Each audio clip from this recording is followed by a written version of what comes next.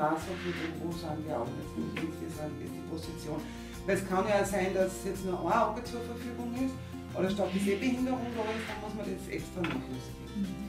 Und jetzt schauen wir, machen wir diese Kalibrierung, gell? schaut einfach diesen Punkt bitte nach. Jetzt schaut er nochmal, ob die Augen gut da sind.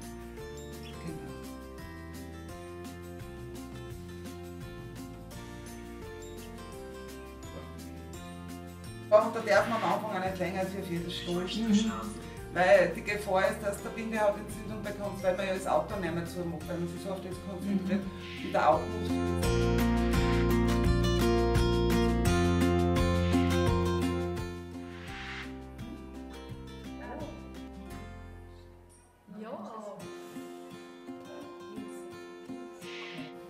Ich würde jetzt immer filmen.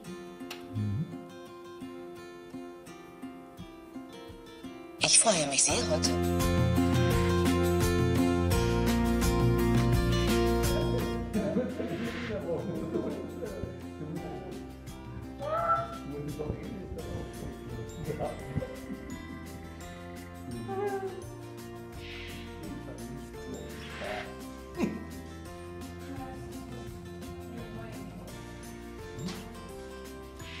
Wie möchtest du das iPad verwenden?